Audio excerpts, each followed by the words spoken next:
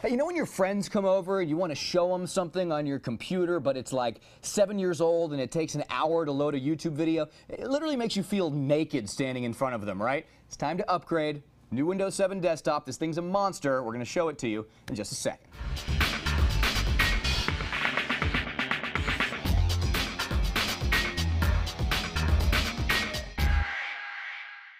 Hey, check this out. Lenovo has released a seriously thumping uh, desktop tower here. It is the IdeaCentre K300 from Lenovo, and it is absolutely packed. All right, we've got an Intel Core 2 Quad Q8300 processor. That's a 2.5 gigahertz processor, 6 gigs of DDR2 RAM, a 640 gigabyte hard drive, DVD-RW. It has a built-in TV tuner. It's got a great graphics card. It's got the ATI, ATI Radeon HD 4350 on board, which is a very nice discrete graphics card. Uh, it also has a TV tuner. It comes with a media center remote control and uh, also has wireless built in. Uh, we're talking B or G wireless on board this awesome computer. And on top of all that, you're going to get Windows 7 Home Premium 64-bit edition as well. So you're looking at one of the most top-of-the-line uh, pre-built systems out there from Lenovo. And you see it comes in a really, really sharp-looking case.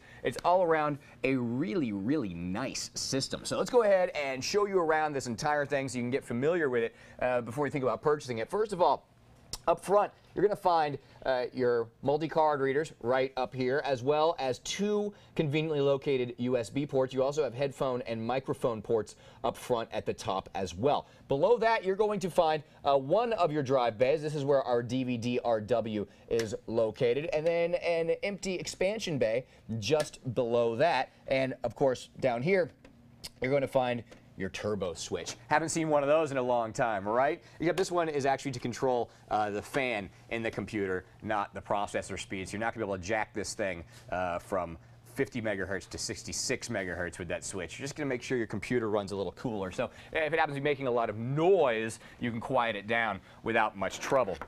Around back, you're going to find the rest of our connectivity and ports on this particular box. Back here, you're going to see that you do have a couple of PS2 ports. You got a serial port. You got VGA.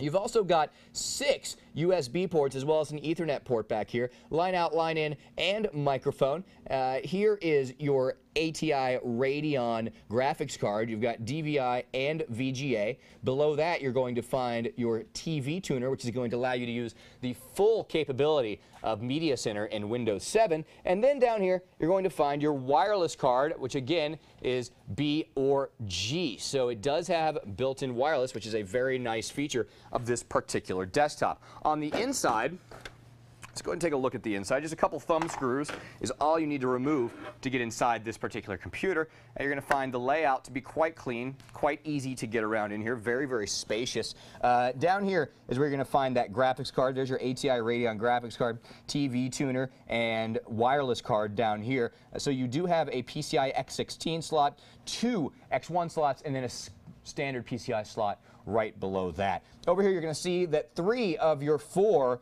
uh, SIMM slots are being used. It does have six gigs of memory, so you could very easily bump this to eight by simply adding one SIMM.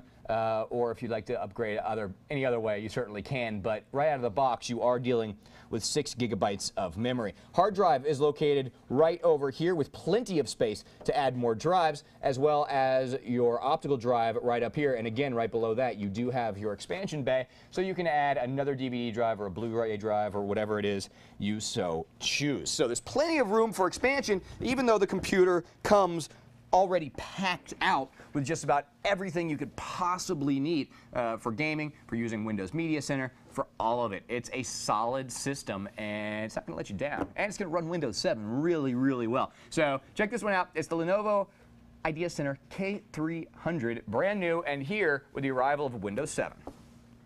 To get more info on the Lenovo K300 Core 2 Quad Tower, go to com.pewter.tv and search for Lenovo K300. For Computer TV, I'm Bauer.